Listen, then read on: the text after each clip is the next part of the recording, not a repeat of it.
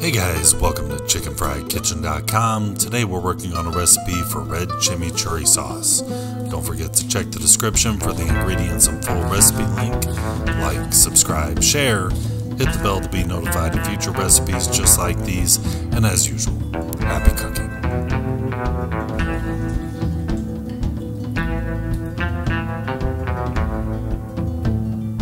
Thank you.